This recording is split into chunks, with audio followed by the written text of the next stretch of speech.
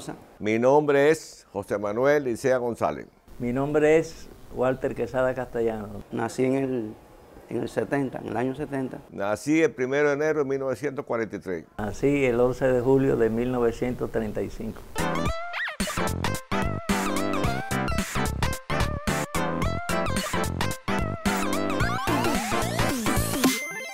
La barbería la, pensé, la empecé a hacer así por, por, por, por broma, ¿viste?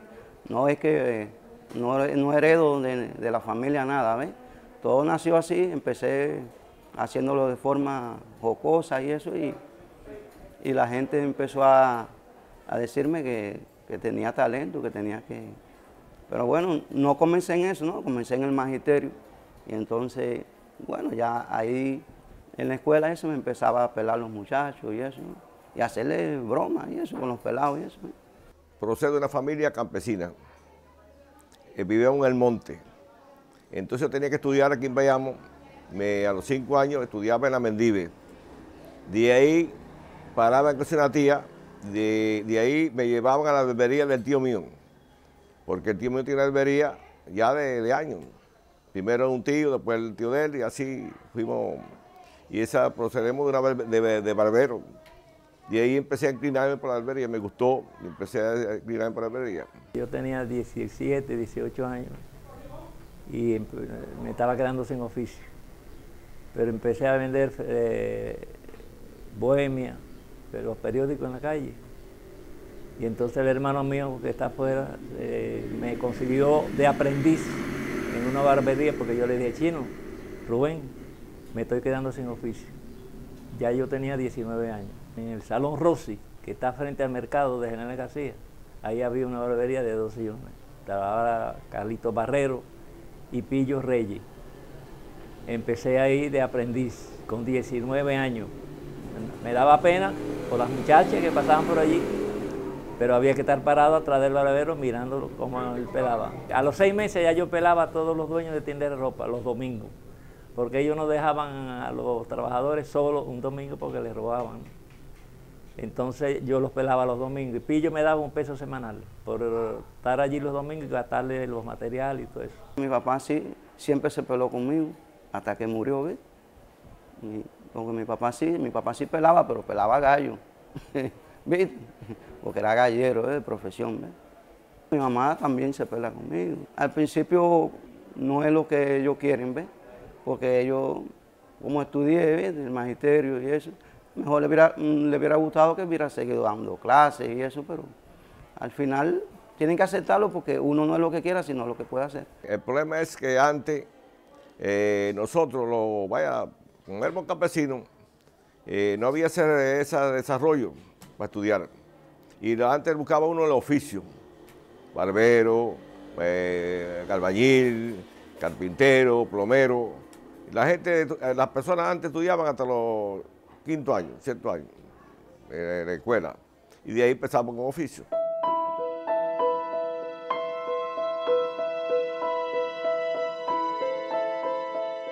Mi papá reaccionó bien, muy bien, porque estábamos en un oficio que lo que buscaban uno. Antes no era estudio de estudiar carrera, no era oficio.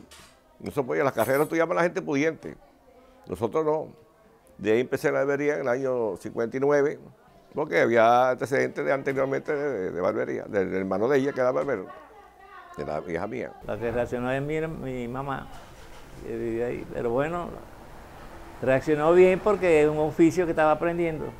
Yo tengo que mencionar a todas las compañeras en la peluquería, todas, porque esa fue mi escuela, ¿ves? Desde 18 años más o menos estuve ahí con ellos hasta, pero son unas cuantas, un, una lista grande, ¿ves? Y compañeros barberos también, ya muertos están, pero, ¿me entiendes? Los tuve a ellos y de vez en cuando hasta medio miraba para el costado para ver cómo es que hacían algo, ¿ves? Pero siempre yo solo dando traspié, ¿ves? Primeramente a mi hermano, porque ese ya no vive aquí, pero ese fue el que me introdujo de de aprender de barbería. Y segundo, a Carlito Barrero, que fue el que me enseñó. porque Pillo Reyes no estaba bien, de, temblaba, tenía el mar de Parkinson. Y llegaba la gente allí y cuando iba a afeitar le clavaba así la... Sí, para poner, coger equilibrio, porque era así. Y yo ni miraba eso. Yo me ponía al lado de él porque era aprendiz. Pero a él le agradezco porque era el dueño.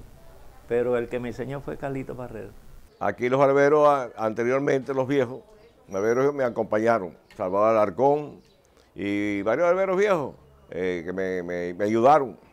El tío mío también, Cindo González también. Son barberos que me ayudaron a incorporarme a la barbería. Ya en el 59, y el de la barbería salió al exterior y me dejó en la barbería con un hermano. Y ahí empecé. Y ahí empecé bien. La gente fui haciendo relaciones, con la, porque el barbero tiene muchas relaciones. La barbería se relaciona con muchas personas, con médicos, enfermeros, eh, de todo tipo de personas barbería. La barbería es un centro de divulgación de personas. Ahí van de todo. Las cosas se nacen, ¿viste? Tienen que venir con uno por dentro. Porque eso no, no es fácil. Cualquiera dice, no, yo cojo una máquina y pelo. Pero no, es que todo tiene sus detalles, ¿viste? Eso es como, como el carpintero. Cualquiera coge una, cuatro clavos y arma una silla, pero eso no es una silla. Al final eso llama un acabado, ¿viste? Eso es el que hay que darle al, pelado, ¿ves? El acabado. Cualquiera pela, pero no es, No es igual, ¿viste? Es un acabado. Si tú no le das un acabado a un pelado, no. Antes era difícil. Ahora es fácil. Ahora un barbero compra una máquina y ya empieza a pelar y ya ya es difícil. Yo enseñaba ahí, compañera, ahí, barbero, en mi barbería. De unos días le he dado los, primeros pasos y ya, ya sigue pelar. Porque ahora lo que la gente busca es economía. No es que le guste tanto, era economía del dinero. ¿Entiendes? Y antes no, era distinto. Antes era distinto. Ahora es, porque la, la barbería deja dinero ahora. ¿Entiendes? Con los precios. Precios altos. Antes un barbero era de, de peseta. Yo pelé de 40 kilos, afeité de 10 kilos. Esos eran los precios antes. Entonces mucha gente fiaba porque no tenía dinero. Era, fiaba mucho la gente, había que fiar. Porque para trabajar ahí había que, había que dar anatomía del, cuello hacia arriba. Para hacer limpieza cutis, masaje facial, limpieza, eh, todas esas cosas, lavar la cabeza, dar tinte. Entonces uno tenía que, que pasar ese curso y no podía trabajar ahí. Yo. Yo estoy preparado en eso. Yo ahí daba a los barberos, le daba clases, ahí en la barbería esa, porque lo mandaban de los municipios. La barbería no es fácil, porque eso es un arte. Y hay que saber manipular la cabeza, saber el pelado que el cliente quiera y obedecer al cliente, que es el que manda. Si, si él me pide un pelado y yo le hago otro, no vuelve más. Yo tengo que hacer lo que él diga porque él es el que va a pagar. Cuando tú no conocías los tipos de pelo que como solo vas conociendo en el transcurso de, los años, tú vas descubriendo que cuál es el camino más fácil. Que, hoy lo hiciste así a, ese cliente, ¿no? pero ya cuando lo vuelves a pelar, ya tú dices, ah, bueno, por aquí me equivoqué, ahora lo voy a coger aquí así por esta vía y sale el resultado. Pero ya, tú, ya te digo, es la repetición ahí, es el trabajo constante. ¿ves? Hay clientes que me dicen, yo le digo, yo le pregunto ya porque yo le pregunto, porque es ético, ¿me entiendes? Uno le pregunta, a ver, ¿qué te vas a hacer? Pero es que ya uno sabe porque tú lo ves físicamente y eso es lo que tú tienes que transmitir ahí, en el pelado, ¿ves? El físico de él. Entonces yo, yo le digo, no, no cojas lucha, que yo te voy a poner bonito, tú vas a quedar lindo, tú vas a ver. Me dice, coño, es verdad que digo, ah, no, yo te pregunto de rutina, pero no, porque necesito que tú me digas, ¿no? Porque ya uno sabe que trabaja por el óvalo facial. Las personas creen que la barbería es fácil.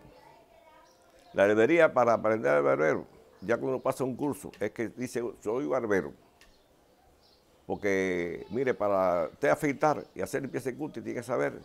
Porque si usted aprieta, un lugar le puede, le puede provocar la muerte. Un niño, hasta los tres años los niños tienen la fontanera abierta. Un niño tiene que apretarlo para pelarlo. Tiene seis fontanelas su cabecita. Son las molleras que se ven, las molleras. Y un niño, tú le puedes dar algo cotazo. Todas esas cosas se implica la barbería. La barbería no es así pelar ya, ¿no? Hay que aprender a barbero, hay que saber pasar los cursos. Importantísimo. Yo con un peine, una tijera, una navaja y un paño, yo me busco 30 pesos, bajo una mata sin andar con y hay una brocha. Me busco 20, 30, es un oficio agradecido. Es el trabajo del siglo. No hay trabajo más importante en, este, en la vida que la barbería. Siempre va a haber, vas a tener trabajo y es importante porque es lo que le da, ¿me entiendes? A la persona el, el aspecto físico, ¿me entiendes? Tú puedes lograr algo a través de un pelado, de un peinado, ¿me entiendes? Cambia la persona. La persona cambia fácil, rápido. Tú te pelas, te afeitas y ya eres otra persona.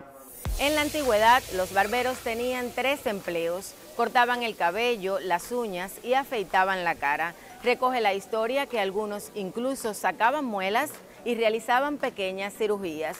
En la actualidad, la barbería es considerada un arte, pues mucho tiene que ver con la belleza del rostro y la actitud de las personas. Para brindar un mejor servicio, la barbería ha adecuado sus funciones de acuerdo a los gustos, preferencias y a la moda. Lo cierto es que resulta hoy un oficio imprescindible del que todos necesitamos alguna vez.